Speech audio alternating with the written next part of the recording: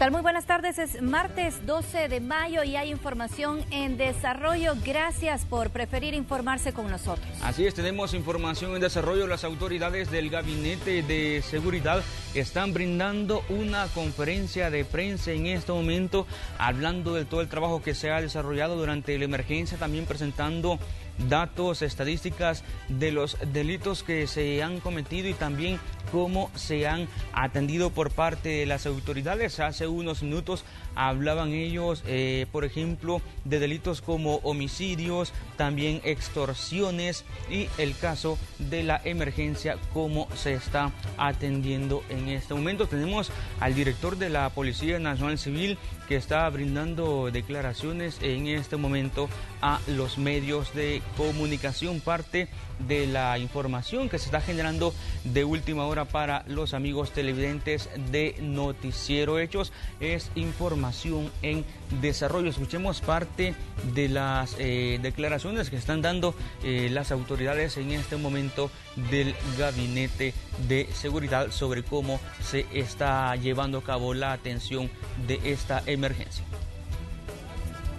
Cuando me lo preguntaron yo mencioné que, que ojalá no fuera verdad, pero el caso está ahí es un caso en el cual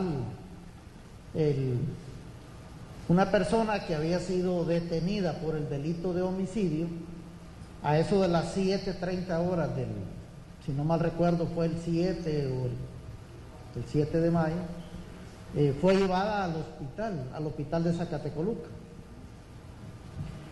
Esta persona presentaba fiebre, vómito, diarrea, y el policía encargado de Bartolinas pide auxilio, pide apoyo a una patrulla policial para que lo lleven a darle asistencia médica al, hospital. Eso fue a eso de las 7.35 o 37 minutos. Y a eso de las 7 y 47, casi 10 minutos después, esta persona fallece en el trayecto que se estaba llevando al, hospital. Casualmente, eh, en el hospital, lo llevan a un lugar, lo meten a las bolsas o al ataúd que, directamente para entregarlo a la familia, se sienten, eh, según indagaciones preliminares que estamos haciendo, que hay sospechas que esta persona en plena pandemia ha muerto por el virus del COVID y prácticamente no se hace la inspección la inspección especial, la inspección ocular policial, como se hace con otros cadáveres. Entonces, lo meten a la caja y sí hay una imprudencia que nosotros estamos eh, investigando.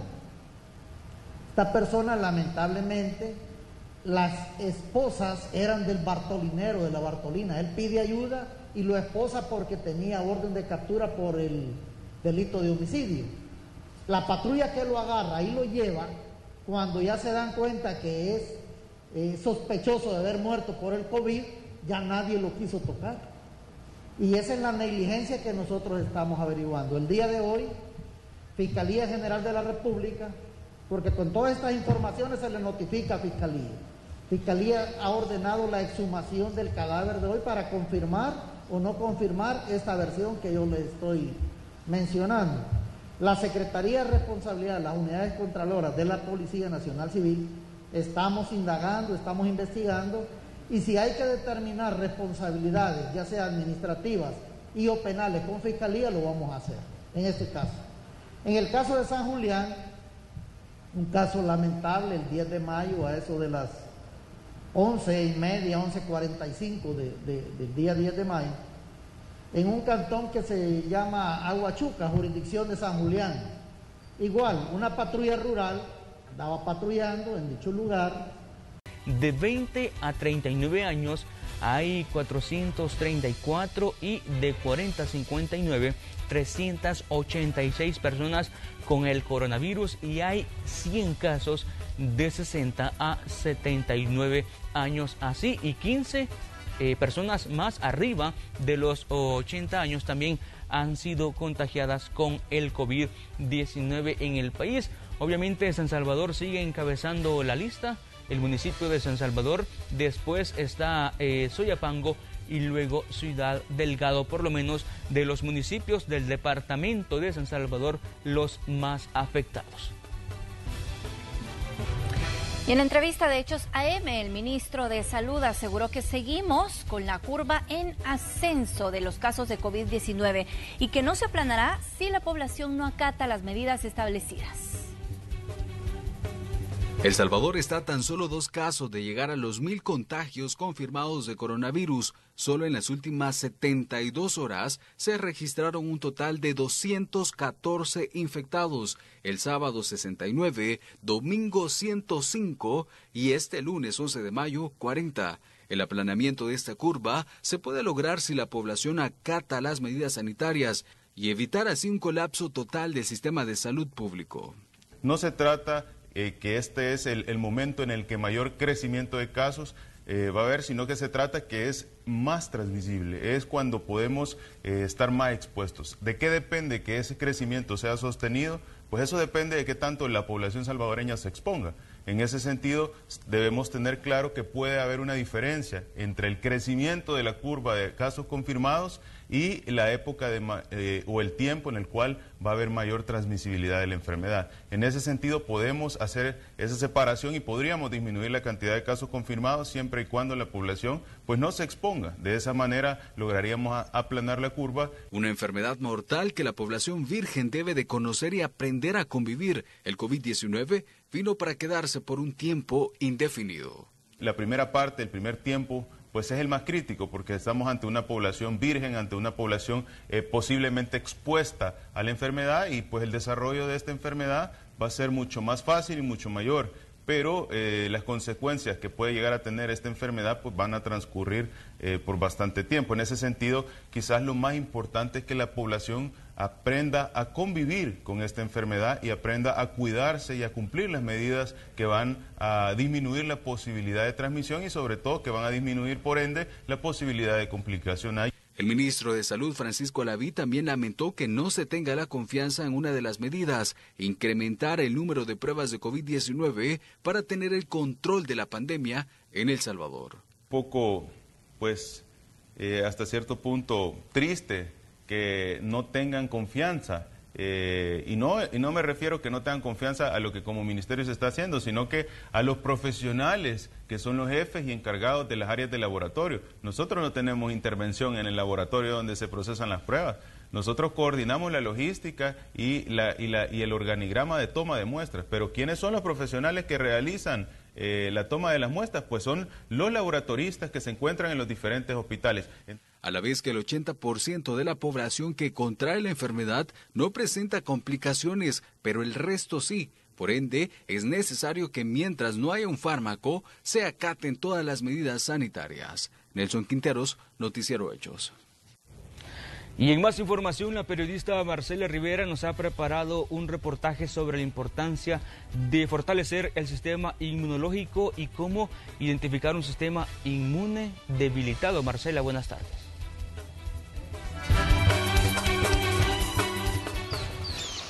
Alimentarse saludablemente, ejercitarse pero no en exceso y dormir bien pueden ser las claves para fortalecer el sistema inmune. Veamos el siguiente reporte.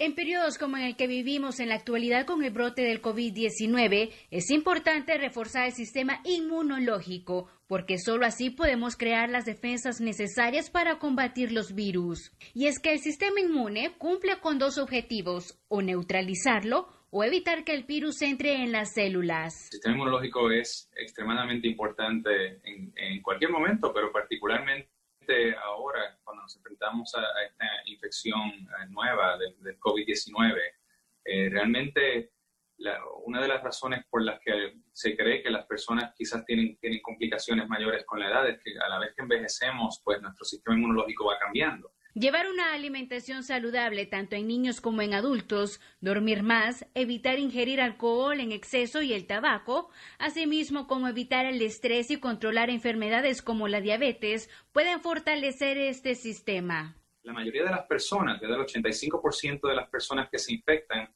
van a tener un, curso débil, eh, o sea, un curso leve eh, o sea, entiéndase por eso que no, no van a tener necesidad de, estar en el hospital, no necesitan oxígeno um, y se recuperan, el 15% que tiene lesiones, pero ahí es que probablemente caen las personas que tienen sistema inmunológico débil. No es la única causa, hay personas saludables que por razones que desconocemos también caen en ese grupo. Pero también es importante saber si una persona tiene un sistema inmune debilitado. El doctor Pérez nos explica. El principal marcador de un sistema inmunológico bajo es que la persona tiende a tener infecciones repetidas. Eh, pueden ser diferentes clases de infecciones dependiendo de cuál parte del sistema inmunológico está comprometido.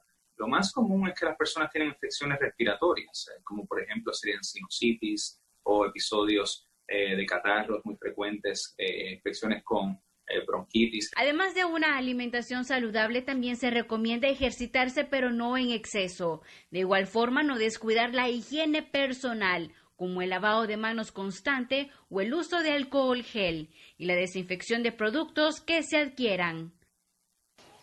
Bueno, y acá le dejo algunos consejos que usted puede seguir para fortalecer su sistema inmune, especialmente en este periodo de pandemia.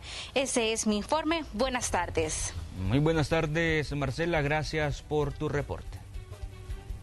Y más de 25 mil empleados del sistema de salud se verán beneficiados con el servicio del transporte colectivo gratis. Ernesto Cornejo con los detalles.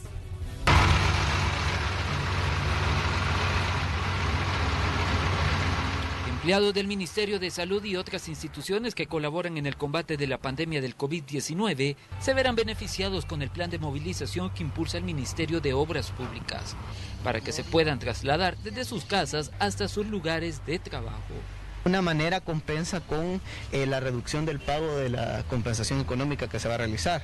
Eh, ahorita eh, nosotros estamos transportando personal de salud desde el oriente hasta el occidente de nuestro país. En este momento estamos en el Hospital Rosales, se pueden ver todas las unidades que están acá, esperando que personal de salud salga para poderlo transportar hasta sus hogares. Ahorita las rutas están circulando en la trayectoria común que, que, que, pasan en el día a día. Es decir, por ejemplo, una persona que se quiera trasladar eh, a un hospital y sale de su casa tiene que tomar la misma ruta que siempre ha tomado. 1.300 unidades del transporte público estarán brindando este servicio. Los empresarios, por su parte, manifestaron que estas acciones vienen a fortalecer el esfuerzo que el gobierno está haciendo. Estamos colaborando y ayudando en el traslado de todo el personal de salud, el personal indispensable para nuestro país en este momento y estamos dando nuestro mayor esfuerzo, tanto nosotros como empresarios como hay que eh, reconocerle la labor de nuestros colaboradores, de nuestros conductores, que también están haciendo un esfuerzo. Gloria Méndez es una de las favorecidas. Dice estar agradecida, pues aparte que el servicio es gratis, ahora llegará tiempo a su jornada laboral. Excelente la idea que este, nos estén ayudando en, en trasladarnos a lo que es nuestra casa, ya que no hay este, cómo podernos trasladar, pero ya que el presidente nos ha ayudado, nos ha echado la mano, que bien, excelente. A este servicio también se ha sumado el de transporte a personas que padecen enfermedades crónicas y que requieren movilizarse. Con imágenes de Juan Castellano, este es un informe para Noticiero Hechos de Ernesto Cornejo. Y en más información de este día, avanzan los trabajos de construcción del hospital de Cifco.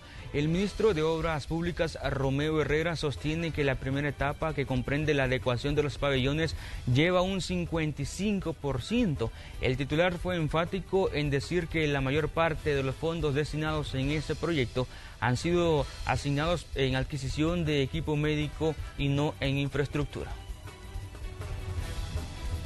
Ya llevamos un 55% de avance en la adecuación de los pabellones y estamos trabajando para tener esta obra a más tarde. Una agencia bancaria. Las terminaciones que tienen autorización para salir este día son 3 y 4. Así que tómelo en cuenta para que usted pueda realizar sus diligencias.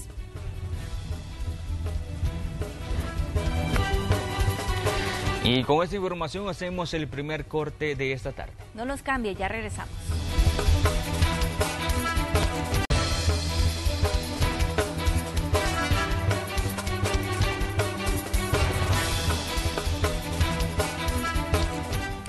Gracias por continuar informándose con nosotros. Queremos contarle que los principales productos que conforman la canasta básica salvadoreña han presentado aumento de precios. Según los comerciantes, las ventas han disminuido en los últimos días.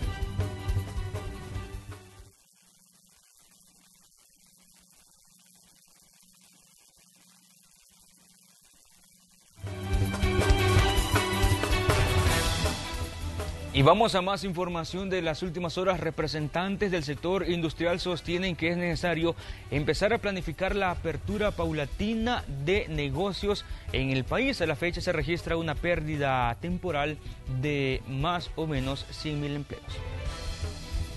Entre un 80 y 90% de la industria en el país ha paralizado labores por más de 50 días debido a la emergencia nacional por el coronavirus, ocasionando la baja temporal de unos 100.000 empleos y la reducción de las exportaciones.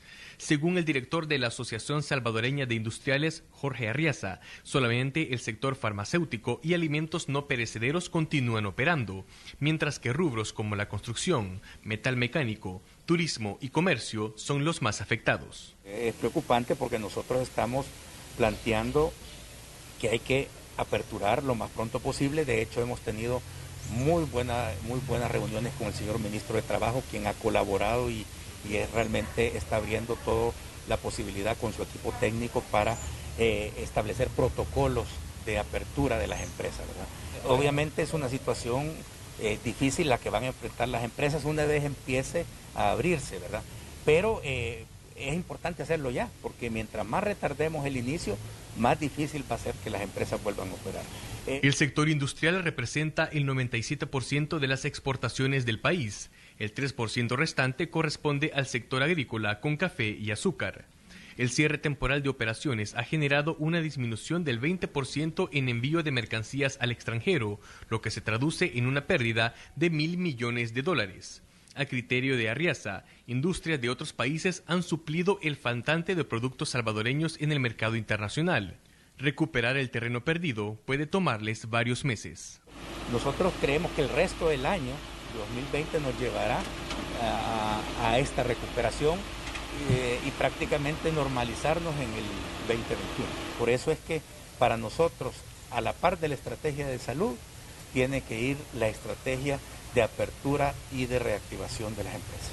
El titular de la gremial sostiene que es necesario empezar a hablar sobre la reactivación paulatina de la economía. Agregó que la Asociación Nacional de la Empresa Privada elabora un plan de estrategia de apertura que presentará al gobierno, que incluirá la aplicación de todas las medidas de prevención para evitar el contagio del COVID-19.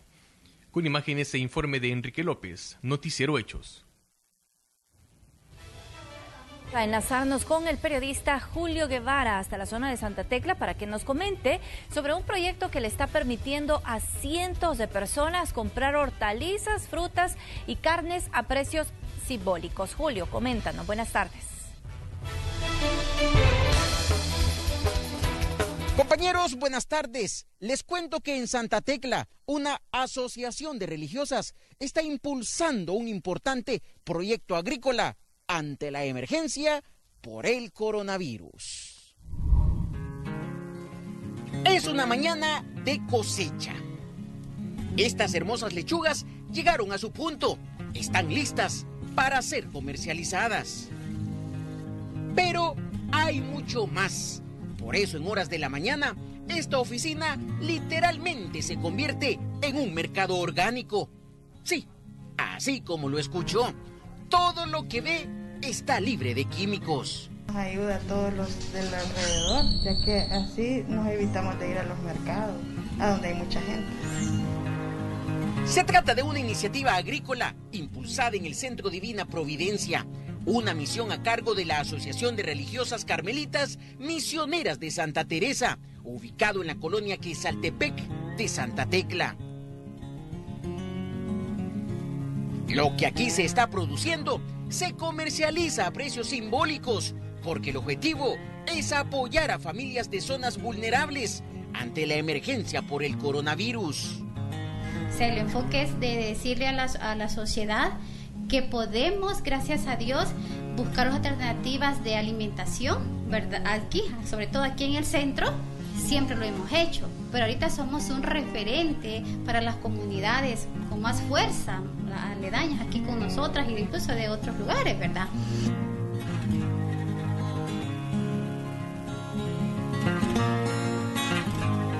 Esta chulada de repollo la puede encontrar en este lugar. Le cuento los detalles a las 8 de la noche.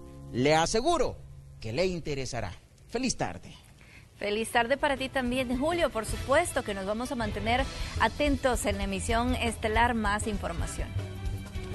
Y tal como se los comentamos hace unos minutos, los principales productos que conforman la canasta básica salvadoreña han presentado aumento en los precios. Según los comerciantes, incluso las ventas han disminuido, disminuido en los últimos días. Hay día 2 y día 2.50. Los comerciantes del Mercado Central de San Salvador aseguran que en los últimos días las ventas han disminuido debido a la cuarentena especial que inició el 7 de mayo. Los precios que ofrecen los proveedores se han elevado, sin embargo tratan de mantener costos accesibles. La caja de, tomate también ahora está a 18 y estaba a 12, a 10. Ay, una gran diferencia. ¿va?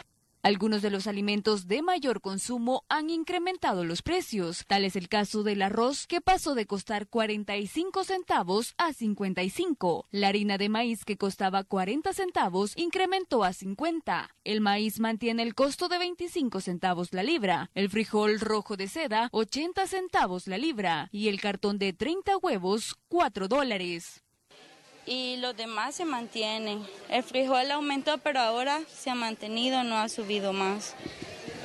Anteriormente estábamos dando a 60 la libra, ahora está a 80. Sí, aumentó al, al principio de, al principio de toda esta situación, aumentó pero las variaciones en los precios también se ven reflejados en las verduras. Según los comerciantes, cada día hay menos proveedores, situación que podría significar más dificultades para adquirir los alimentos. La papa soloma cuesta 75 centavos la libra, el tomate 10 por un dólar, las cebollas tienen un costo de 8 por un dólar y el chile verde 6 por un dólar. En el caso de las frutas, los costos se mantienen si comparamos con semanas anteriores. El guineo de sea se comercializa a 10 por un dólar, la manzana gala 4 por un dólar, la piña cuesta 2 dólares y la sandía 3 dólares. Sí, hay cosas que no hay, porque ahorita por lo menos papaya no tenemos. Estamos esperando que entre. No sé qué precio va a venir. La piña dicen que ya va a subir también, porque casi no hay. Pero el precio se ha mantenido, gracias a Dios.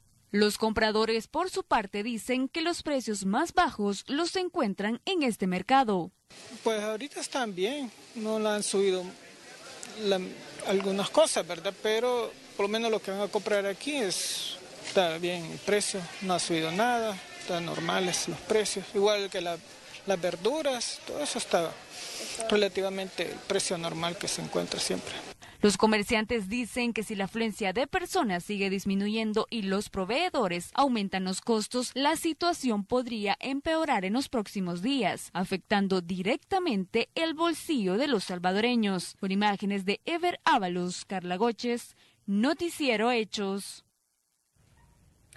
Y el presidente de la Comisión Ejecutiva Autónoma Portuaria, Federico Alniker, aclaró que el Aeropuerto Internacional San Oscar Arnulfo Romero no estará cerrado por 14 semanas, tiempo en el que tardarán las autoridades en retornar a los connacionales al país. El funcionario añadió que el cierre de la terminal aérea salvadoreña podría levantarse mucho antes, pero que esto va de la mano con los decretos ejecutivos en el ramo de salud y el avance de la pandemia del coronavirus en El Salvador. Quiero dejar claro una cosa. Si bien se habló de 14 semanas en traer los repatriados, no quiere decir que eso va de la mano con la apertura del aeropuerto. Puede ser en un caso hipotético de que abramos ante el aeropuerto y las 14 semanas es parte del plan de repatriación pero no quiere decir que el aeropuerto vaya a estar cerrado hasta las 14 semanas. Entonces, no tiene que ver una cosa con la otra, sino que el cierre va de la mano con los decretos también ejecutivos de salud que se están dando. Vamos a la siguiente información. El ministro de Hacienda, Nelson Fuentes, dio a conocer que el próximo jueves se presentará un nuevo decreto ante la Asamblea Legislativa para dar prórroga al plazo de la declaración de la renta. Recordemos que en días anteriores el gobierno presentó una iniciativa, sin embargo fue vetada por el mismo presidente de la República, Nayib Bukele, argumentando que estaba ya en fuera de tiempo porque se presentó o se aprobó el decreto transitorio para extender el periodo de declaración en el último día. Por tanto, el gobierno va a presentar una nueva propuesta esa semana para que se finalice o se extienda el periodo eh, de pago y declaración hasta el 30 de junio. Hemos trabajado un nuevo decreto para dar la prórroga del impuesto sobre la renta, donde va a haber una, una etapa, digamos, de, amnistía en la cual estos días que han pasado del mes de mayo puedan extenderse a través de la prórroga hasta el 30 de junio para los contribuyentes que no presentaron su declaración y que no, y que no presentaron también sus pagos. Nosotros esperamos este jueves acercarnos a la Asamblea para entregar el decreto. Y tras los rumores del cierre de varias salas de venta de super selectos por contagios de COVID-19, la empresa emitió un comunicado a través de sus cuentas en redes sociales. Ellos aseguran que se trata de noticias falsas y que están operando 101 supermercados con excepción de super selectos Metrocentro octava etapa, en el cual no se tiene acceso directo al parqueo o a la calle, sino a través del centro comercial, lo cual se pide en el decreto 24 emitido el pasado domingo. Así que agradecen a los colaboradores por el sacrificio y el esfuerzo de realizar sus labores para que los salvadoreños cuenten con un lugar donde poder adquirir sus alimentos. Además, ellos agradecen a sus clientes por continuar confiando en Super Selectos para proporcionar los bienes y servicios que necesitan.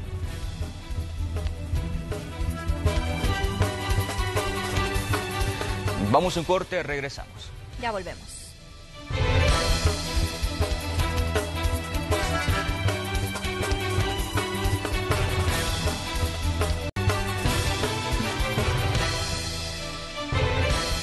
Vamos a conocer ahora qué ocurre fuera de nuestras eh, fronteras. El reporte con Graciela Rajo. Buenas tardes, iniciamos nuestro recorrido a nivel internacional en los Estados Unidos porque la Casa Blanca cambió su discurso respecto a las pruebas rápidas de COVID-19 y restó importancia a realizarlas a gran escala. Sin embargo, expertos de la salud, incluso del gabinete del presidente Trump, insisten en la necesidad de las pruebas. Tenemos los mejores tests del mundo. El presidente Donald Trump ha reiterado esta idea desde hace semanas y desde la Casa Blanca se ha apoyado con cifras. Como muestra esta gráfica, Estados Unidos ha completado 7 millones y medio de test de coronavirus. Es una cifra extraordinaria. Y como ven, Estados Unidos lidera el mundo en pruebas. McEnany mostraba el total de pruebas realizadas en el país en este gráfico de Our World in Data. Sin embargo, esa misma web señala en este otro gráfico, obviado por la Casa Blanca, que Dinamarca, Italia, Nueva Zelanda y Canadá están por encima de Estados Unidos en test realizados por cada mil habitantes. Los test no son un arte perfecto, no importa lo que hagas, los test no son un arte perfecto. Esta semana la Casa Blanca comenzó a restar importancia a la necesidad de hacer test de manera masiva. Si hiciéramos test a cada estadounidense en este país en este momento, tendríamos que hacérselos de nuevo una hora después y una después más, porque en cualquier momento teóricamente pueden contraer este virus. Así que la noción de que se debe hacer pruebas a todo el mundo es simplemente un sinsentido. Sin embargo, los expertos en salud no parecen estar de acuerdo ni con el presidente ni con su portavoz. La principal inmunóloga de la administración destacó la importancia de realizar test a gran escala. He apoyado mucho dos partes de los test. Uno, el significativo aumento en el número de test que estamos haciendo cada semana y ser proactivos a la hora de hacer pruebas. Birch incidió en la necesidad de centrarse en lugares con población vulnerable, algo que también señaló la portavoz de la Casa Blanca. Sin embargo, la doctora reiteró la necesidad de mantener los tests en el resto de la población para localizar a los contagiados asintomáticos. La Organización Mundial de la Salud considera el análisis a gran escala como algo imprescindible para contener este coronavirus. Bricio Segovia, Voz de América, Washington. Y nos vamos a quedar en los Estados Unidos, vamos a hablar de lo que ocurre en Nueva York, porque las iglesias también han sufrido una baja a raíz del COVID-19. Una iglesia católica romana en Queens y una iglesia luterana en Manhattan que sirven a las congregaciones hispanas han perdido más de 100 miembros por el coronavirus. Las últimas ocho semanas realmente han sido un verdadero desastre de tsunami para nosotros, aquí entre la enfermedad, la muerte, el desempleo y la falta de servicios para los indocumentados. Ha sido realmente duro, explicó el reverendo de la iglesia católica ubicada en un barrio en Queens. En la iglesia luterana de San Pedro en el centro de Manhattan, una congregación en español que sirve a inmigrantes hispanos de toda la ciudad, el número de muertos se ha acercado a 40 entre los aproximadamente 400 congregantes. Este es un informe de Kelly Abrego para la RNA. Y en los Estados Unidos parece que los diferentes rubros han comenzado también a sentir las medidas económicas impuestas días anteriores. Por ejemplo, las transacciones inmobiliarias están alteradas las ventas, presentaciones y trámites jurídicos en línea están agilizando las negociaciones. Sin embargo, un reporte difundido por el sitio web Zillow reporta una caída del 30.7% en propiedades puestas a la venta. No obstante, para algunos esto podría generar una oportunidad. Pueden darle a una persona que tenga mayor liquidez oportunidades en algún momento de personas que necesitan tener esa liquidez, bien sea para salvaguardar sus compañías, bien sea para, por, inclusive por cuestiones médicas. Nos vamos a quedar en los Estados Unidos porque el director del Instituto Nacional de Alergias y Enfermedades Infecciosas, doctor Anthony Fauci, dice que el gobierno está trabajando en varias vacunas potenciales para el COVID-19. A pesar del rápido ritmo de trabajo en el fármaco, Fauci no ofrecía garantías. Él dice, la gran incógnita es la eficacia. Fauci dirige el Instituto Nacional de Alergias y Enfermedades Infecciosas y es el principal experto del gobierno en la pandemia. Él dice que espera tener una vacuna en ensayos avanzados a finales de otoño o a principios del invierno. Y ahora nos vamos a ir hasta Sudamérica, específicamente hasta Venezuela, porque a pesar del confinamiento ordenado por las autoridades, la población tiene un temor más, y este es la violencia. En Venezuela pareciera que el coronavirus no es lo único que motiva a los pobladores a mantenerse resguardados en el hogar. Más de seis días de balaceras entre bandas de jóvenes con armas largas durante el día y la noche en Petare, una emblemática zona popular, mantiene agobiados a los habitantes de la capital. El criminólogo Luis Isquiel explicó a La Voz de América que la magnitud del arsenal de estos grupos impide el accionar de los organismos de seguridad. Bueno, aquí los delincuentes no le están prestando atención a la pandemia, es evidente, porque han salido a ejecutar sus acciones criminales, ¿no? Con un armamento de guerra poderosísimo, con fusiles, con ametralladoras y hasta con explosiones de granadas. Son bandas delictivas que se están disputando el territorio y todos los negocios que allí se realizan. En ese contexto, habitantes de Petare, una de las barriadas populares más grandes de Latinoamérica, expresaron su preocupación ante la violencia generada en los últimos días. No podemos salir a la calle, ni en la puerta de la casa, ni en las ventanas, ni nada. Todo es un peligro. Hay unas bandas ahí de, de, José Félix Rivas, tanto de Petare, que se están enfrentando y este pues el gobierno no hace nada. Otros, por temor a represalia, evitan abordar el tema. A eso no sé nada. O sea que no nos puede poner esa, un peligro. Aunque no se pronunció sobre la situación de esta barriada en particular, el ministro para Relaciones Interiores, Justicia y Paz, Néstor Reverol, informó recientemente que a través de la gran misión Cuadrantes de Paz y con el apoyo de varios organismos, mejorarán la seguridad de los habitantes del país. Álvaro Algarra, Oceamérica, Caracas. Y siempre en Venezuela, los apagones no guardan la cuarentena. En medio de la pandemia, los ciudadanos deben lidiar con horas de cortes eléctricos que también provocan el colapso de las telecomunicaciones. Los usuarios pasan 12, 14, 16, hasta 24 horas sin luz. Es inhumano. Así la información en este bloque de noticias internacionales.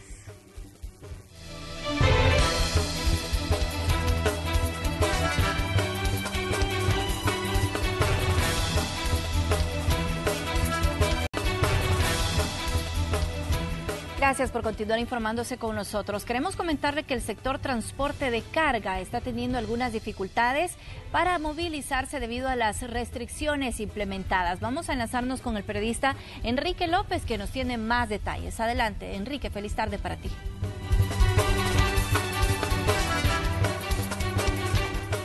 Así es, compañeros, buenas tardes. Este día he hablado con Raúl Alfaro, quien es el presidente de la Asociación Salvadoreña de Transportistas Internacionales de Carga, quien nos ha comentado sobre ciertos inconvenientes que tiene ese sector debido a medidas aduaneras que se han tomado a nivel centroamericano. Más detalles se los presento en la siguiente nota. El transporte de carga a nivel centroamericano se ha enfrentado a serias complicaciones debido a las restricciones implementadas por cada gobierno para la movilidad de personas a raíz de la emergencia por el coronavirus.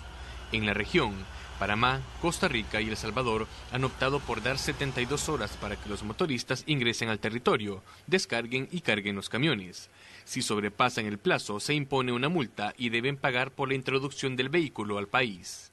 Que estas medidas que se ha tomado migratoriamente ni no fueron consultadas con nosotros que somos al final el usuario, somos el afectado y nos deberían haber tomado en cuenta. Ya no vale la pena. Hoy yo estoy pidiendo que con lo que está pasando en Nicaragua, con lo que está pasando en frontera Peña Blanca, que mejor paremos nuestros camiones y ya no ofrezcamos el servicio. ¿Por qué? Durante los últimos días se reporta una larga fila de camiones en la frontera de Peñas Blancas entre Nicaragua y Costa Rica, país que no deja ingresar a los motoristas sin antes detectar si son portadores del coronavirus. El problema es que los resultados de las pruebas pueden llegar en un lapso de hasta cinco días, generando aglomeraciones en los estacionamientos que se pueden convertir en focos de infección. Estoy desde el día jueves y en la prueba me la hice el día viernes y hasta el día de hoy no nos han dado los resultados. Ahorita un compañero de inmigración nos dijo que hasta apenas ahora van a ver qué pasó con las pruebas del día viernes porque no han salido todavía. Han salido las pruebas del día sábado y no han salido las del viernes. Entonces aquí queremos ver si alguien nos puede ayudar a agilizar eso porque también ya queremos irnos de aquí, los parqueos están llenos, las colas están largas y queremos desocupar aquí los parqueos para que otros compañeros puedan entrar porque no están ingresando camiones ahorita. Según el presidente de la Asociación Salvadoreña de Transportistas Internacionales de Carga, antes Costa Rica permitía que los vehículos extranjeros permanecieran en su territorio por 30 días. Durante la emergencia la redujeron a 3. Al irrespetar la normativa, los transportistas se les impone una multa de 500 dólares y el pago de unos 5 mil dólares para evitar el decomiso de su unidad. Un viaje a Costa Rica que no traiga, que no tenga la posibilidad de traer carga de Costa Rica hacia El Salvador, que El Salvador necesita el insumo, tengo que subir la tarifa porque mi costo es muy alto en Costa Rica, mil kilómetros gastando combustible, llantas, con, eh, lubricantes, etcétera, etcétera, etcétera, y me vengo completamente vacío. Entonces no puedo absorber. Con la tarifa actual tendría que subirla. Va a terminar en un desabastecimiento y no hay oídos para nuestro clamor. Debido a estas medidas restrictivas, los empresarios ya reportan pérdidas, ya que no es rentable viajar por más de mil kilómetros hasta Costa Rica y regresar con el camión vacío al no lograr ser cargado de productos en las 72 horas. Gremiales solicitan a las autoridades ampliar el plazo a 10 días y que sean medidas recíprocas entre las naciones centroamericanas. Los representantes del sector de transporte de carga esperan ser tomados en cuenta y que los gobiernos eh, centroamericanos lleguen a un acuerdo en cuanto a las medidas aduaneras y también espera que se les tome en cuenta en las diferentes mesas de diálogo que se puedan instalar durante los próximos días. Compañeros, esta es la información que tengo para ustedes. Regreso al set principal. Muchas gracias, Enrique. Feliz tarde. Vamos ahora a hablar temas de seguridad y es que este lunes 11 de mayo cerró con cero homicidios a nivel nacional. El presidente de la República, Nayib Bukele, dijo que la delincuencia está controlada y se están salvando muchas vidas. El ministro de Justicia y Seguridad dice que pese a la emergencia, los cuerpos de seguridad se mantienen activas en sus acciones operativas, además en el control de estructuras criminales como parte del Plan Control Territorial.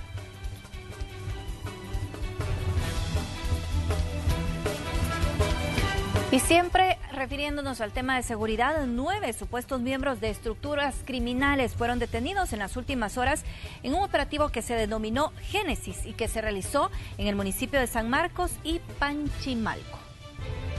Por los delitos de extorsión, agrupaciones ilícitas y conspiración para cometer homicidios, fueron detenidos nueve de 18 sujetos que pertenecen a una estructura criminal que operaba en los municipios de San Marcos y Panchimalco de San Salvador. Ya hoy se, hicieron un par de capturas. Estamos procesando a estas personas por los delitos de extorsión, agrupaciones ilícitas. Hay algunas personas que van por delitos de conspiración en homicidios eh, ha sido un arduo trabajo que hemos hecho con la Policía Nacional Civil a través de la unidad de investigación de DIN San Marcos. Las autoridades del Ministerio Público informaron que desde octubre de 2019 iniciaron con las investigaciones y que hasta este lunes se realizó el operativo denominado Génesis para localizar a 15 sujetos en ambos municipios, además de realizar tres intimaciones en diferentes centros penales. Nos damos por satisfechos en el sentido de que hemos culminado una investigación que habíamos trabajado desde el mes de octubre del año pasado, que como todos saben por razones de la, de la misma pandemia no habíamos podido ejecutar. Sin embargo, este, hemos organizado y hemos administrado los tiempos para poder hacer efectivas las capturas de estas personas.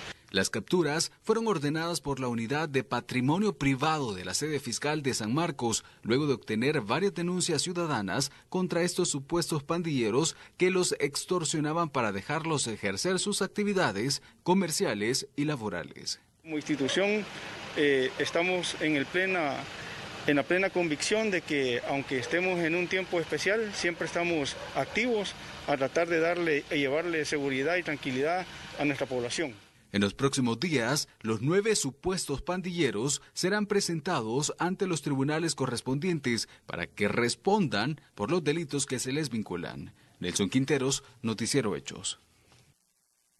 Vamos ahora al espacio de la entrevista acá en Noticiero Hechos. Desde el inicio de esta semana estamos implementando una nueva modalidad aplicando el distanciamiento social. Ya se encuentra con nosotros el ministro de Obras Públicas, Romeo Herrera, con quien vamos a hablar en este momento sobre diversos temas que están en agenda nacional. Por ejemplo, el trabajo que está desarrollando en los hospitales, la construcción del hospital que también está en CIFCO, además el transporte que se está dando para el personal de salud, entre otros temas. Ministro, bienvenido a Noticiero Hechos.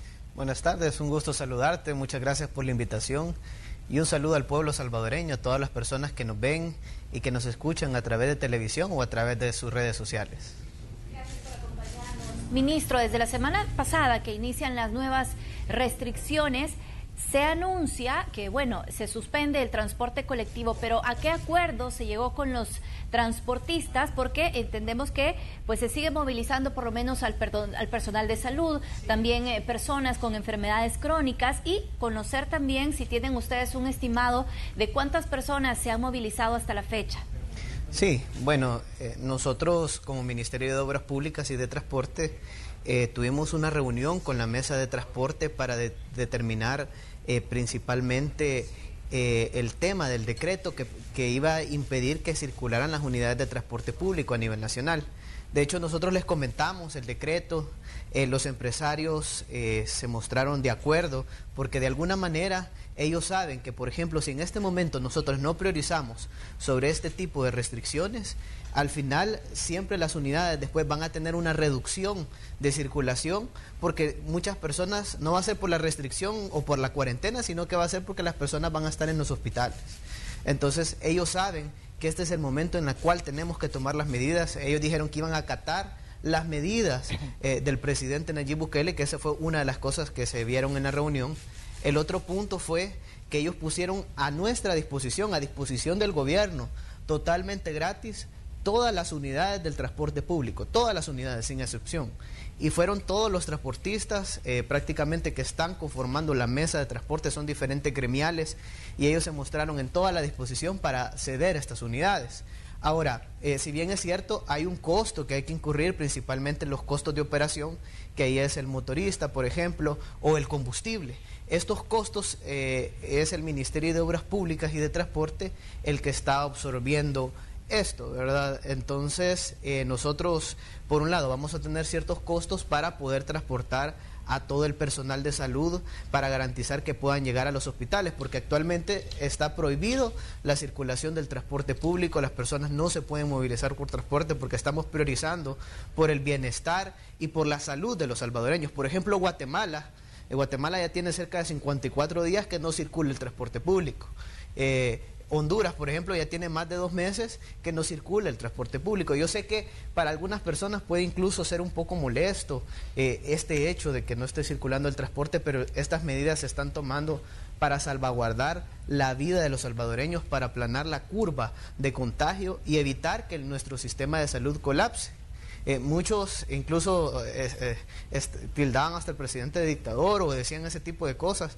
Pues Guatemala ya lo estaba haciendo desde hace 54 días, Honduras ya tenía más de dos meses sin que circule el transporte público y ahí nadie les dice eso, ¿verdad? Porque saben que al final son medidas para el bienestar del pueblo. Entonces, nosotros ahorita hemos destinado más de 1.300 unidades que están circulando desde el occidente hasta el oriente de nuestro país, movilizando diariamente en promedio 25 mil personas. Estas son eh, principalmente personal que está en el Ministerio de Salud, en el Instituto del Seguro Social y también personal del Ministerio de Obras Públicas, porque nosotros tenemos eh, parte de nuestros equipos que está trabajando en toda la red hospitalaria de nuestro país. Entonces tenemos que movilizarlos y por medio del transporte público es que ellos están circulando. Eh, ¿Cuál es la metodología que estamos usando? Eh, prácticamente las unidades circulan en la ruta que siempre ha estado establecida eh, y, las personas para poder llegar a, por ejemplo, alguien quiere llegar a un hospital, va a tomar el mismo bus que había tomado antes para llegar al mismo hospital. Entonces son las mismas rutas eh, que habían estado circulando tradicionalmente, solo que se han restringido los horarios y son menos unidades las que están circulando. Por ejemplo, en la mañana están circulando de 5 de la mañana a 8 y media de la mañana y en la tarde ya estamos de 4 de la tarde a 8 y media de la tarde. Ese es el horario que se ha establecido para que circulen las unidades.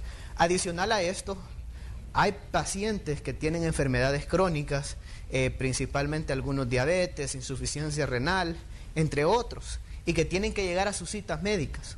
Eh, como gobierno hemos subcontratado una empresa por un monto de 400 mil dólares, eh, la cual eh, tiene un centro de contacto y ellos están monitoreando prácticamente todo el transporte de las personas que llegan. que tienen que llegar a sus hospitales por una cita que tienen. Entonces, ¿qué es lo que estamos haciendo? Eso lo llaman al 2121 4010, lo voy a volver a repetir el número 2121 4010 eh, y de inmediato hay una persona que está atendiendo, hay un centro de contacto que está atendiendo la llamada, eh, prácticamente le dicen el día de la cita, eh, dan alguna información como por ejemplo la dirección, porque tienen que llegar hasta el lugar, y nosotros estamos haciendo los traslados de todos estos pacientes crónicos desde sus casas hacia los hospitales y de regreso. Es decir, lo llevamos hasta la puerta de su casa de regreso después de que tiene la cita. ahorita a la fecha hemos trasladado 2.105 pacientes que tienen enfermedades crónicas. Eh, es, una, es un arduo trabajo, una gran logística que hemos llevado a cabo para poder garantizar que todos estos pacientes pueden llegar a tiempo, que, pueda, que no pierdan su cita y que poder garantizar de estas personas su salud. Eh, incluso en todas estas unidades, por ejemplo en el transporte público se están tomando todas las medidas sanitarias en las unidades que estamos transportando al personal de salud y al personal del Ministerio de Obras Públicas, igual también en las unidades que están transportando a estos pacientes de enfermedades crónicas. Eh, tienen mascarilla, que es, que es algo que se ha solicitado, mascarilla obligatoria, alcohol gel, eh, y otras medidas sanitarias como eh, higienización de, cada una de las unidades. Entonces, estamos trabajando en eso, es una gran logística como gobierno, pero al final lo que estamos tratando de hacer es salvaguardar la vida de todos los salvadoreños. En este tema, ministro, una pregunta referente a los costos que ha asumido el gobierno, es decir, el gobierno está dando el combustible, el pago del motorista y los transportistas han puesto la unidad del autobús eh, o microbús nada más o hay algún tipo de compromiso aparte? No, no hay, no hay ningún compromiso. De hecho, eh, el, único compromiso es el pago del combustible y el pago del motorista, que eso es lo que como gobierno estamos absorbiendo. Los transportistas, ellos eh, fue voluntariamente, prueba incluso del apoyo que le dan al decreto presidencial es que ellos se dieron sus unidades totalmente gratis. Nadie los ha obligado a que, a que den sus unidades gratis. ¿Y esos fondos de dónde van a salir, ministro? los fondos, nosotros actualmente se pagaba bueno, nosotros pagamos mensualmente 3.3 millones de dólares en concepto de subsidio mensual, que es la compensación económica que se le da a las unidades de transporte. Entonces, eh, la ley nos dice que si las unidades no están circulando, no les podemos pagar la compensación económica. Entonces, el ahorro que vamos a tener es aproximadamente de 1.6 millones de dólares.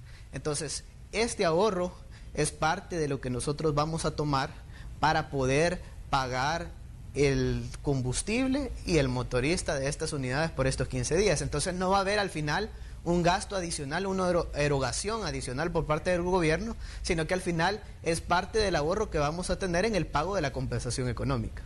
Ministro, usted mencionaba que se han tomado ciertas medidas para darle protección. Obviamente, el personal que se está movilizando en las unidades es personal médico, estamos hablando de enfermeras y obviamente es el personal que mayor exposición pueden tener al contagio del virus.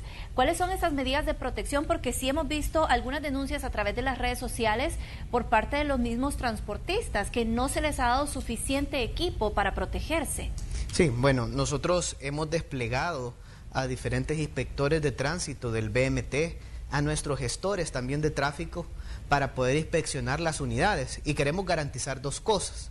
Uno, que es principalmente la salud de los salvadoreños, eh, que se garantice ese protocolo sanitario, y ahí está también la, la, Policía Nacional Civil, el Ministerio de la Defensa también, en diferentes puntos, y estamos inspeccionando que, por ejemplo, tengan mascarilla, tengan alcohol gel, y que se está, y que se está haciendo la sanitización al menos de tres veces al día de las unidades de transporte. Entonces, eso es justamente lo que se ha pedido como, como requerimiento mínimo de estas unidades. Y lo otro que también nosotros estamos garantizando es que las unidades estén circulando porque ese es otro punto importante, que todas las unidades, todas las rutas estén circulando para poder movilizar a todo el personal médico desde sus casas prácticamente eh, o, o desde donde él esperaba al bus normalmente, tradicionalmente, hasta llegar hasta el hospital. Entonces estamos garantizando que desde el occidente del país hasta el oriente del país estén circulando las unidades y que también se cumplan todas las medidas sanitarias necesarias. Todo esto lo estamos haciendo articulado como gobierno, es un trabajo arduo, pero estamos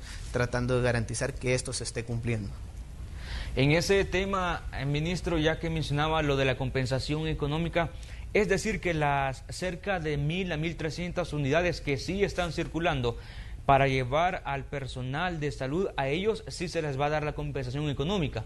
Y a los empresarios que han guardado las unidades por estas disposiciones debido a la emergencia, a ellos no se les va a dar la compensación económica que se cobra cuando los automovilistas van a comprar combustible. No se les va a dar a ninguno. A ninguno, ni a las 1.300 unidades. Ni a ninguno. Lo que pasa es que ellos lo están dando, como lo repito, totalmente gratis las unidades. Es decir, eh, ahorita está prohibido el transporte público.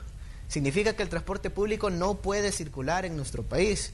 Entonces, como no puede circular, según la ley, no podemos pagar la compensación económica. Entonces, no se va a pagar el subsidio por 15 días, que es prácticamente el decreto presidencial para los tiempos que están estipulados actualmente. Entonces, no se le va a pagar. Ahorita, por ejemplo, hoy es el día 5, entonces ya son 5 días que se le va a descontar a los transportistas de la compensación económica, a todos los transportistas. Lo que ha pasado es que ellos han dado gratis sus unidades, que eso es totalmente diferente, y nosotros vamos a poner eh, todos los costos operativos, que son justamente el motorista y eh, el combustible para poder transportar a todo el personal de salud, al personal del Ministerio de Obras Públicas que está trabajando en toda la red hospitalaria de nuestro país. Eh, eso es justamente eh, en lo que nosotros estamos. Y prácticamente de los ahorros de la compensación económica es que nosotros vamos a pagar este combustible y a los motoristas. Ministro, ¿a cuánto asciende la inversión en la red hospitalaria? Sí, bueno, eh, nosotros tenemos un plan proyectado, hemos hecho inspecciones en todos los hospitales eh, desde prácticamente desde el inicio de la pandemia y establecimos un monto de 28 millones de dólares, que de hecho el presidente lo anunció en la cadena nacional. Eh, ahorita estamos en la primera fase esta fase tiene una inversión de 2.6 millones de dólares en infraestructura y tiene una inversión de un millón de dólares en, colocación de aires acondicionados. Eh, ya estamos, eso ya está adjudicado, ya se está trabajando en toda la red hospitalaria de nuestro país. Eh, se están haciendo diferentes trabajos, que esta es la primera fase. La otra fase eh, es de 7.5 millones de dólares que nos los van a asignar este mes, que son parte de reorientaciones de fondos de diferentes carteras de Estado. Y el otro mes nos van a asignar eh, otra cantidad para poder eh, realizar todas las fases necesarias para esta obra o esta inversión de los 28 millones de dólares que van a mejorar, modernizar y reconstruir toda nuestra red hospitalaria. Y son bastantes los trabajos que estamos realizando, como por ejemplo, en el Hospital San Rafael estamos habilitando cuatro unidades de cuidados intensivos adicionales a las que ya se tienen, por ejemplo. En, el hospital, por ejemplo, el Nacional de Zacatecoluca, estamos habilitando más de 17 unidades de cuidados intensivos. Eh, por ejemplo, en San Vicente estamos colocando aires acondicionados. El hospital de San Vicente no tenía ni tan siquiera aires acondicionados en los espacios donde se atendían a los pacientes. Ahora van a tener aires acondicionados. Eh, por ejemplo, en el Hospital de la Unión estamos estableciendo eh, un espacio, un área para atención de pacientes en caso de emergencia. Eh, igual en los diferentes hospitales, en el Hospital de Santa Ana, en el Hospital de Sonsonate, estamos ampliando. No solo, algunos decían que solo eran eh, trabajos de pintura o algo estético, no. Son diferentes trabajos, estamos ampliando incluso las áreas para atender pacientes, estamos incrementando las unidades de cuidados intensivos, de cuidados intermedios y de cuidados leves en prácticamente la mayor cantidad de hospitales de nuestro país. Y estamos realizando trabajos de adecuaciones, de mejoramiento y de modernización en toda la red hospitalaria. Todos los hospitales nacionales se están interviniendo de manera simultánea. No hay ningún gobierno a la fecha que haya intervenido de manera simultánea o al menos que haya intervenido toda la red hospitalaria.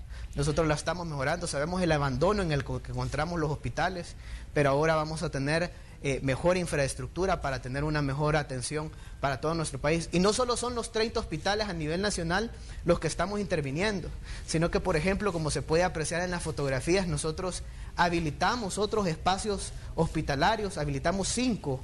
Eh, uno está en Jiquilisco, otro está en Tecoluca, otro está, eh, que es el ex Hotel Siesta, que lo encontramos en pésimas condiciones. De hecho, el ex gobierno anterior eh, el gobierno anterior dijo de que iban a construir ahí eh, un hospital para niños. Al final nosotros no encontramos nada, el sistema eléctrico está dañado, todas las instalaciones en pésimas condiciones y nosotros ya habilitamos el hospital La Ceiba. Y así otros hospitales, eh, por ejemplo el de la Segunda Brigada de Comalapa, y el Hospital de San Miguel, el del Seguro Social, que por ejemplo nosotros construimos los accesos vehiculares y los accesos peatonales para poder tener este hospital y atender posibles pacientes de COVID-19. Entonces hemos habilitado estos cinco hospitales y adicional estamos trabajando en toda la red hospitalaria de nuestro país y adicional a todo esto, también como última línea estamos realizando trabajos en el gran hospital de CIFCO. Estamos adecuando todos los pabellones para poder tener mil unidades de cuidados intensivos y 2.000 unidades para hospitalización general. En ese hospital que se está haciendo, ministro, ¿cuál es el, avance porcentual que se tiene hasta este, hasta este día en lo que se ha trabajado? Si, si nos aclara, por favor, porque tenemos el estacionamiento de CIFCO, donde se ve desde la calle que se está trabajando, pero también tengo entendido que el interior de CIFCO son otras, las adecuaciones que se están haciendo. Si en CIFCO se van a terminar antes estas adecuaciones y lo que se está construyendo en el parqueo de CIFCO en la zona exterior ya tiene un tiempo límite para poderse concluir. Sí, bueno, eh, tal como lo decía, son dos trabajos los que estamos realizando. Uno es la adecuación de todos los pabellones. Algunas personas decían, bueno, ¿y por qué no adecuan los pabellones? Es que se están haciendo ambas cosas.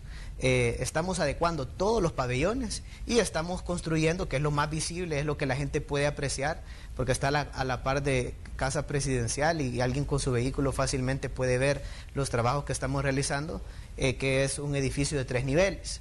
Eh, pero justamente eh, ahorita estamos adecuando todos los pabellones, estamos terminando ya de instalar el sistema eléctrico, el sistema de gases, el sistema de aires acondicionados, el cual todo se está adecuando eh, para poder garantizar unidades de cuidados intensivos. Son mil unidades de cuidados intensivos las que vamos a tener en los pabellones para poder garantizar la atención de posibles pacientes de COVID-19. Y adicional en los pabellones vamos a tener también 800 unidades de hospitalización general. Entonces, solo en los pabellones, en todos los trabajos que estamos haciendo, vamos a tener 1.800 unidades para atención de pacientes. Y en el, en el edificio que vamos a construir, en el anexo de todo el proyecto, en el parqueo externo de CIFCO, ahí vamos a tener capacidad para 1.200 posibles pacientes. Entonces, si nosotros ya sumamos las dos partes del proyecto, al final vamos a atender 3.000 posibles pacientes de COVID-19. Y yo te quiero, algunos han dicho que el monto es caro, yo te quiero decir algo, que eh, eh, más o menos el proyecto anda entre 70 a 100 millones de dólares, pero la mayor parte de la inversión es el equipamiento y los insumos médicos. Son más de 60 millones de dólares que son en equipamiento e insumos médicos. Te puedo dar una comparación, por ejemplo. El Hospital del Seguro Social de San Miguel costó 82.83 millones de dólares y solo tiene capacidad para atender 160 pacientes. Y de estos solo están equipados 7 unidades de cuidados intensivos y hay 10 unidades de cuidados intermedios. Y costó 82.83 millones de dólares.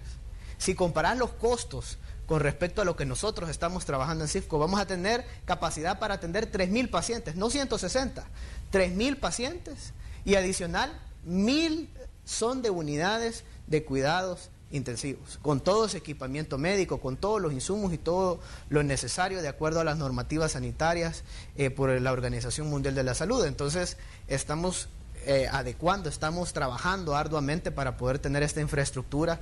Eh, las adecuaciones en los pabellones, nosotros esperamos finalizarlas en el mes de junio, ya el próximo mes esperamos ya concluir con esos trabajos. Si se mantiene la proyección inicial, que eran tres meses, estaríamos ahorita en el segundo mes del proyecto. Sí, siempre se va a cumplir el, tiempo el cual había mencionado el presidente de la República. Incluso eh, lo hemos hecho prácticamente en tiempo récord porque hubo una etapa de diseño. El diseño lo hizo el Ministerio de Obras Públicas, eh, nuestros arquitectos e ingenieros eh, se juntaron en CIFCO con otras carteras de Estado, porque ahí también estuvo el Ministerio de Salud para todos esos requerimientos básicos de la infraestructura hospitalaria que era necesaria realizar. Entonces, pero nosotros diseñamos eh, esta obra que vamos a realizar y ya, bueno, los trabajos están bastante avanzados, llevamos un 55% de avance en la adecuación de todos los pabellones y esperamos finalizarlos en el mes de junio. Y también estamos construyendo eh, el edificio en el parqueo externo que estamos, eh, ahorita estamos en la parte de la cimentación, ya estamos a punto de colocar la infraestructura metálica, toda la estructura de, este edificio de tres niveles para poder, eh, poder iniciar con, ya con los trabajos y, que ya se vea prácticamente la parte de la obra ya física. Entonces, estamos trabajando, de hecho, hay tres turnos para poder garantizar 24 horas laborales. Eh, prácticamente eh, estamos trabajando los siete días de la semana. Es una obra que se va a hacer en tiempo récord. Eh, no hay, bueno, el hospital, por ejemplo, de, San Miguel se tardaron en teoría 27 meses y, ni tan siquiera, bueno, lo inauguraron y ni tan siquiera lo habían terminado. nosotros llegamos y nosotros tuvimos que construir el acceso vehicular y el acceso peatonal.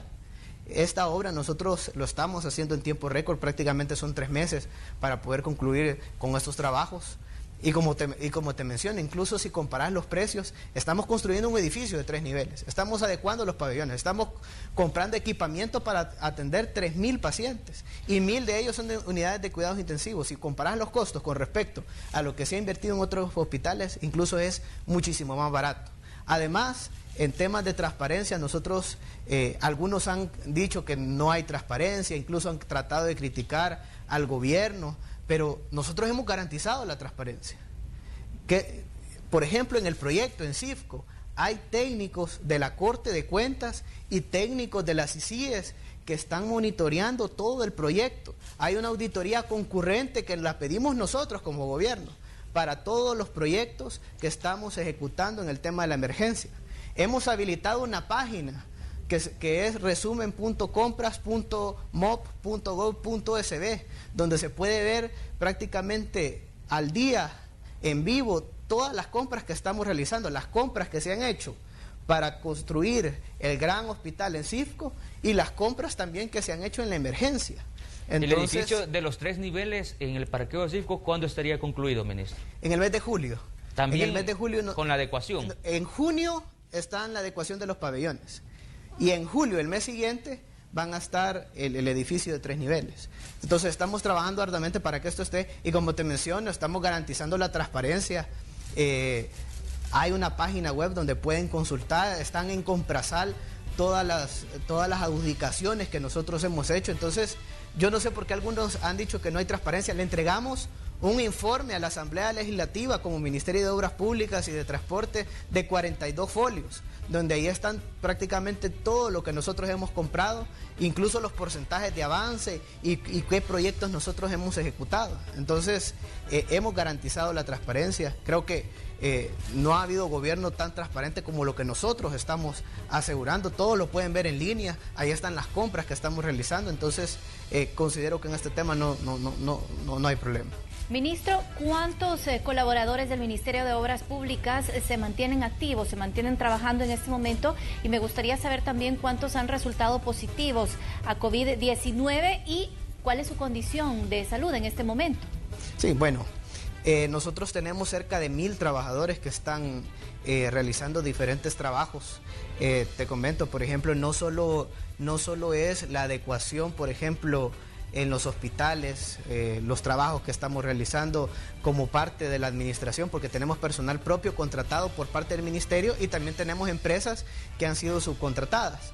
Pero, por ejemplo, para adecuar, para mejorar, por ejemplo, la residencia presidencial lo hicimos con recursos propios, no contratamos ninguna empresa.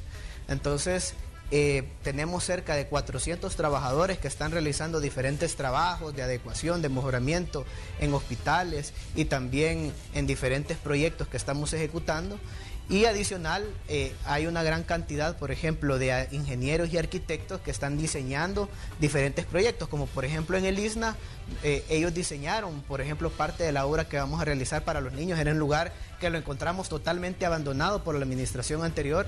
Eh, eso indica bastante el menosprecio que ellos le daban a los niños, a la niñez de nuestro país, pero ahora nosotros estamos demostrando que la niñez ahora sí importa para nosotros. Entonces ya estamos mejorando el espacio del ISNA. Ahí, por ejemplo, fueron nuestros ingenieros, nuestros arquitectos los que diseñaron.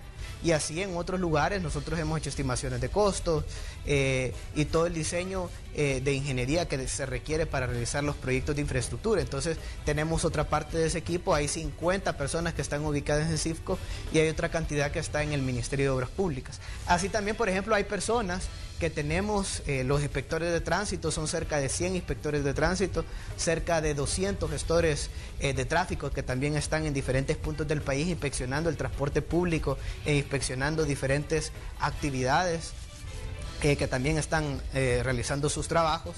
Eh, tenemos también personal, eh, por ejemplo, en el Ministerio de Turismo, donde tenemos una sala de crisis y, estamos viendo diferentes trabajos. Por ejemplo, desde el Viceministerio de Transporte, nosotros estamos garantizando la logística del traslado, por ejemplo, de todos los nexos epidemiológicos y de los casos positivos de COVID-19.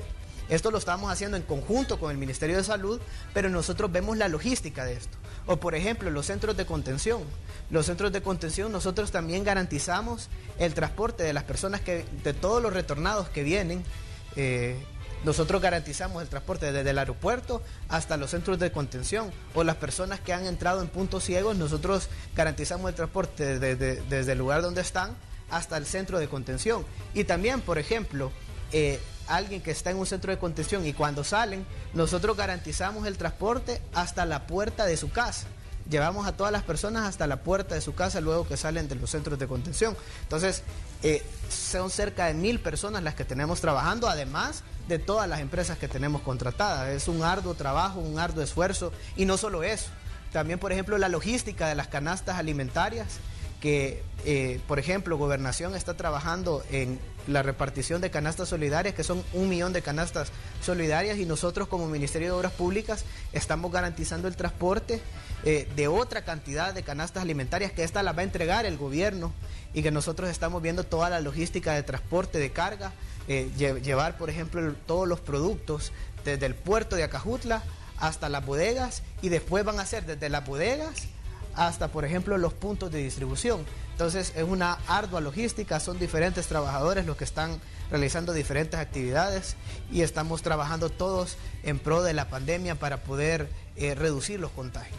Ministro, usted mencionaba una palabra que es transparencia y se ha conocido que desde ayer al día de hoy distintas posturas las organizaciones sociales, gremiales, empresariales, tanques de pensamiento y centros de estudios han renunciado al comité de emergencia que se creó para vigilar o también distribuir los 2 mil millones de dólares que se aprobaron desde la Asamblea Legislativa. ¿Qué dicen estas instituciones? Bueno, falta transparencia del gobierno para decir cómo se van a utilizar los fondos. Segundo, que no se respetan los acuerdos en estas eh, reuniones que se han tenido. Y, tercero, no hay un mecanismo definido de la distribución y de acuerdo a estas organizaciones, el gobierno no quiere dar cuenta y no quiere ser fiscalizado para explicar cómo se van a distribuir estos 2 mil millones, ministro. Sí, la verdad que yo no entiendo por qué dicen que hay falta de transparencia por parte del gobierno. Si es que de, los 2 mil millones de dólares, el gobierno no ha recibido ni un centavo, ni un centavo ni tan siquiera hemos podido ejecutar ningún proyecto. Entonces, ¿por qué dicen falta de transparencia si no hemos podido ejecutar ningún proyecto? Además, hemos tenido cerca de 10 reuniones, 10 juntas con el Comité de Reconstrucción Económica donde se han tratado diferentes planes. Por ejemplo, estuvo el Ministerio de Agricultura eh, explicando el plan de soberanía alimentaria. Estuvo, por ejemplo, el Ministerio de Economía junto con el Ministerio de Hacienda explicando el plan parte para la micro, pequeña y mediana empresa. El Ministerio de Hacienda, por ejemplo, presentó un plan para que los 600 millones eh, de dólares que iban para las alcaldías se distribuyeran de mejor forma, porque los diputados eh, habían puesto que esto iba a ser a discreción de los alcaldes, así como hacen con el FODES. Pues incluso nosotros presentamos por medio del Ministerio de Hacienda un plan para que pudiéramos de alguna manera reconstruir aquellas municipalidades que de alguna manera tienen desigualdades sociales, tienen más acrecentadas esas asimetrías. Entonces, eh, todo esto se presentó. Incluso algunos de ellos estuvieron de acuerdo, como por ejemplo con algunos de estos planes. Entonces, yo no sé por qué dicen eh, que no hay transparencia, se les han presentado los planes, se les ha presentado todo lo que estamos realizando. no nos han dado ni un centavo, porque si bien es cierto, eh, hay unos fondos, por ejemplo, el Fondo Monetario Internacional, pero eso tenía que pasar a todavía la Asamblea Legislativa para que fuera aprobado. No, se había, no había sido aprobado. Es decir, el gobierno no ha recibido todavía los 2 mil millones de dólares ni un centavo. Entonces, ¿por qué hablar de falta de transparencia? Por ejemplo, nos presentaron eh, diferentes empresas para que nosotros pudiéramos de alguna manera tomar, eh, realizar una auditoría de todo esto obviamente nosotros pedimos, por ejemplo, que auditara todo, todo esto que estamos realizando la Corte de Cuentas, pero adicional eh, se tomó a bien contratar a una empresa para que realizara una auditoría externa. Lo vimos en el comité y todo, nosotros eh, estábamos totalmente de acuerdo con esto, porque nosotros sabemos que estamos haciendo las cosas bien como gobierno, que los beneficios de verdad están llegando al pueblo salvadoreño, pero al final, por ejemplo, no se contrató esa auditoría porque no hay ni un centavo. No tenemos nada de los 2 mil millones de dólares. ¿Cómo íbamos a contratar, por ejemplo, la empresa de auditoría si todavía no teníamos los fondos? Entonces, como gobierno, de alguna manera, hemos tratado de garantizar la transparencia, cualquier cosa que ellos preguntaran. Bueno, prueba de ello es que todos los proyectos de emergencia están siendo auditados, auditados por la Corte de Cuentas y, y también están siendo auditados por las ICIES. Si la misma presidenta de la Corte de Cuentas ha llegado a CIFCO donde ahí tenemos una UCI con el Ministerio de Obras Públicas, el Ministerio de Salud y diferentes carteras que están involucradas. Y ellos están revisando, ahí están sus técnicos. Ahí mismo en CIFCO están los técnicos eh, eh, de la Corte de Cuentas y técnicos también de las ICIES. Entonces, nosotros estamos garantizando la transparencia, estamos trabajando por ello. Y prueba de ello es que estamos siendo auditados en todos los fondos de emergencia. Es decir, no entiendo por qué van a decir que hay falta de transparencia por parte del gobierno. No lo entiendo. Queremos agradecerle por habernos acompañado, ministro. Lastimosamente se nos termina el tiempo, pero una recomendación final para los televidentes de Noticiero Hechos. Sí, la verdad que eh, nosotros, por ejemplo, se están tomando todas estas medidas de restricción porque queremos cuidar al pueblo salvadoreño, queremos salvaguardar sus vidas. Pero lo que necesitamos en este momento es que todos nos quedemos en nuestras casas. Eh, estamos a tiempo todavía para poder aplanar la curva. Pero esto es un esfuerzo no solo del gobierno, sino que es un esfuerzo de todos, de todos los actores. Y necesitamos que todos tomen conciencia y que por favor, por sus familias, por sus amigos, por todos sus seres queridos, quédense en sus casas. Gracias, ministro. Vamos a un corte y ya volvemos.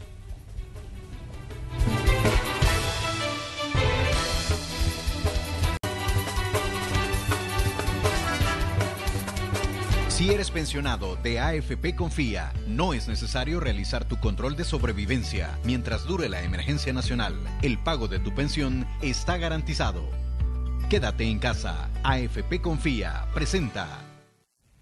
Buenas tardes, bienvenidos a Los Deportes. La Fundación de Atlético de Madrid donó este martes 20 mil mascarillas higiénicas al Ayuntamiento de Alcalá de Henares para que este, este la distribuya entre los ciudadanos de la localidad, según informó el club. Esta entrega de mascarillas se realiza gracias a la generosidad de Idanofer, accionista del Atlético de Madrid, quien gestionó la compra de una importante dotación de mascarillas higiénicas para donarlas al club y su fundación. Así lo explica el comunicado del conjunto madrileño. Y el centrocampista brasileño del Real Valladolid, Matheus Fernández, es el segundo positivo en las pruebas serológicas a las que se sometió la plantilla del Real Valladolid la semana pasada, razón por la cual no entrenó el lunes en la primera jornada del trabajo del equipo blanquivioleta, al igual que Oscar Plano Fernández posee anticuerpos del virus que provoca COVID-19, aunque en ningún momento ha tenido síntomas de la enfermedad en las pruebas a las que se sometió la plantilla la semana pasada, siguiendo el protocolo de la liga, los médicos intentaban averiguar si los jugadores padecían la enfermedad o si ya la habían superado. Para tal fin se les hicieron dos pruebas, la PCR y los análisis serológicos. Y tras cinco exámenes realizados del contagio del coronavirus, la estrella argentina de la Juventus, Paulo Dybala, dio negativo en el test de COVID-19 hace aproximadamente una semana. Y este martes La Joya regresó a los entrenamientos con su equipo luego de confirmar su recuperación del contagio. Desde el pasado 5 de mayo los jugadores del equipo turinés regresaron a las prácticas individuales en la sede deportiva y poco a poco se fueron sumando a sus estrellas. Este martes la presencia del argentino Paulo Dybala alegró a los aficionados de la vecchia señora luego de conocerse los difíciles momentos que el jugador tuvo que pasar. Vamos a dejar por un momento el tema del COVID-19 de lado y nos vamos con la siguiente noticia con la que amanecimos. Y es que el ex delantero del Real Madrid, Edwin Congo, ha sido detenido en una operación contra una red de tráfico de cocaína. El colombiano ha sido arrestado junto a otras nueve personas a primera hora de la mañana de este martes en Madrid. Según reveló la prensa internacional, el exjugador ha sido puesto en libertad después de prestar declaración en la Brigada Central de Estupefacientes. Según la versión de los medios internacionales, aunque otras versiones apuntan a que seguiría en dependencias policiales.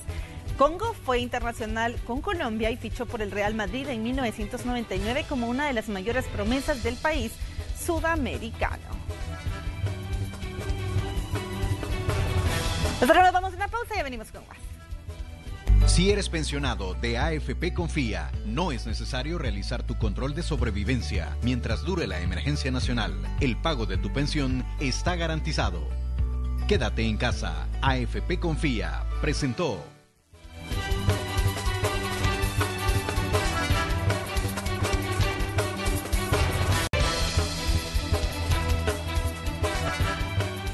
Si eres pensionado de AFP Confía, no es necesario realizar tu control de sobrevivencia mientras dure la emergencia nacional. El pago de tu pensión está garantizado. Quédate en casa. AFP Confía presenta. Gracias por continuar informándose con nosotros. Hay noticias que compartimos también a través de nuestras plataformas digitales. Búsquenos como Noticiero Hechos y también queremos compartirle que el Ministerio de Salud ha publicado pues lamentable información, la decimonovena persona que ha fallecido por COVID-19. Se trata de una persona, un hombre de 42 años. Según las autoridades, se aplicó todo el protocolo en una unidad de cuidados intensivos, así que externan a través de las redes sociales el más sentido pésame para los familiares de la víctima número 19. Si eres pensionado de AFP Confía, no es necesario realizar tu control de sobrevivencia. Mientras dure la emergencia nacional, el pago de tu pensión está garantizado. Quédate en casa. AFP Confía presentó. Y con esta información de última hora finalizamos la emisión de este día martes. Dos horas de completa información. Nos vemos hasta mañana. Gracias por habernos acompañado. Será hasta mañana con más noticias.